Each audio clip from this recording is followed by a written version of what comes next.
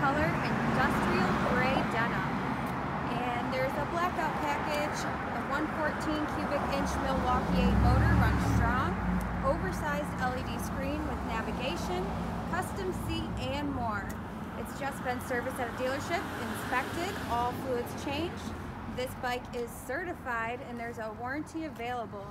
Great bike for the money. You can own it today by visiting our website, www.approvalpowersports.com or